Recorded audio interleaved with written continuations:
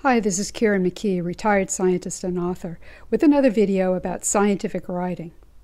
You finished writing and proofreading your paper and are ready to submit the manuscript to a journal.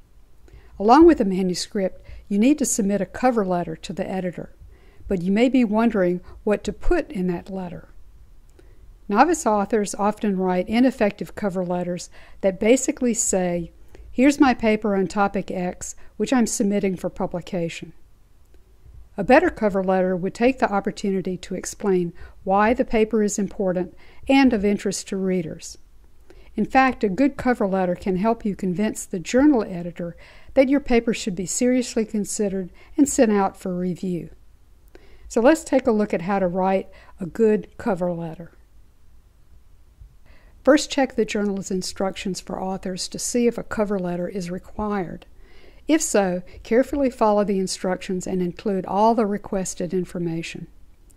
Some journals do not want a cover letter and instead ask the author to answer a series of questions. We'll take a look at both options.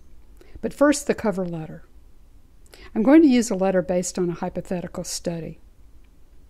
First, don't address your letter to whom it may concern or some other generic salutation. Instead, find the name of the editor on the journal's website and use it. Next, state that you are submitting an original research paper or some other article type, such as a review, along with the title of the paper and the name of the journal. Here you can see I've made up a name for a hypothetical paper about response of two plant species to rising sea level. In the next sentence or two, briefly summarize your main finding and why it's important. Here, the author stated the outcome of the study that the two species responded similarly, and that this is important because it relates to how vulnerable the ecosystem will be to submergence as sea level rises. In the next paragraph, you can explain your approach and describe the results in a bit more detail. In this case, the author described what type of study and a bit about the design and methods. This hypothetical example is a bit generic, so you might want to provide some specifics here, such as where the field experiment was conducted. If you've used a novel method, you might want to emphasize its advantages here and why it is superior to methods used by other workers. Next, you want to explicitly explain why the journal would be interested in your paper. Here you want to point out that your study topic falls within the scope of the journal and that your findings will be of interest to the readership. Give specific reasons why readers will want to read your paper.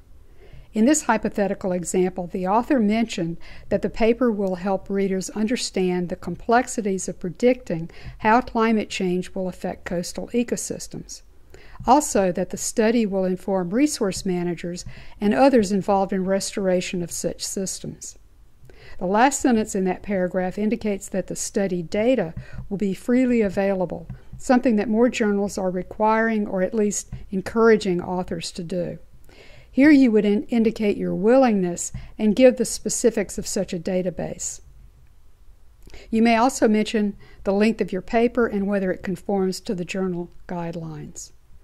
Finally, it's a good idea to include a statement that the work has not been published previously and is not under consideration elsewhere. You would end the letter by giving your name and contact information, as well as those of your co authors. Before we move on, let me emphasize a few do's and don'ts. Don't copy and paste your abstract into the cover letter. Instead, use your own words to explain your work the question your study addresses, and why the journal is the right choice for its publication. Avoid jargon and acronyms as much as possible. The editor may not be a specialist in your particular field, and you don't want her wondering what a particular term means. Some people advise keeping cover letters short, no longer than one page. That's a generally good rule of thumb, but you may need to do a bit more explaining than I've shown in this example. Follow your target journal's instructions about what information to include in your letter. It's best to draft your letter in a word processing program, even if the journal provides an online box to type the letter. This approach will allow you to carefully proofread your letter before submission. You certainly don't want any grammatical or punctuation errors, and you also don't want to misstate or overstate your study's findings. Also, by preparing a Word document, you will have a copy of your cover letter that can be used as a template for future letters. As I mentioned earlier, some journals do not want cover letters and instead ask a series of questions. Let's take a look at an example from one of my submissions. When I submitted this paper for consideration by Global Change Biology, I had to answer four questions, and there was a limit of 50 words per answer. The first question was What is the scientific question you are addressing? Here you need to focus on your main research question and to include as much relevant information as possible. My answer was Will climate or disturbance induced fluctuations in salt marsh mangrove dominance alter vulnerability of a subtropical coastal wetland to sea level rise? If you have addressed multiple questions, either pick the most important one or try to incorporate them all into one overarching question.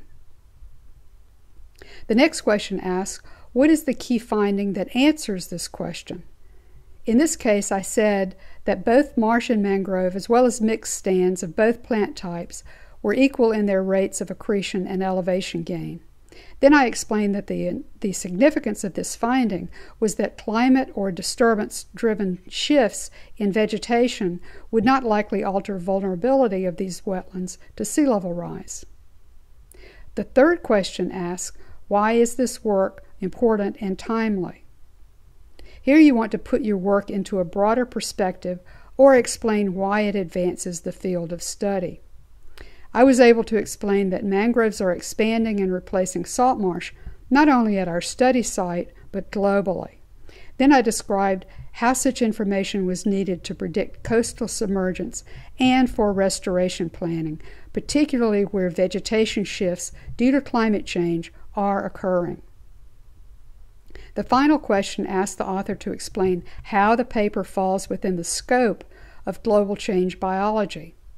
I was able to list both biological and global aspects of our paper, which showed it was relevant for publication in this particular journal. Other journals that use this approach would likely ask similar questions relevant to their topic. They may also ask you to provide a list of recent papers on your topic to assist editors in selecting reviewers. Here you want to select papers by colleagues who are knowledgeable and able to fairly review your manuscript.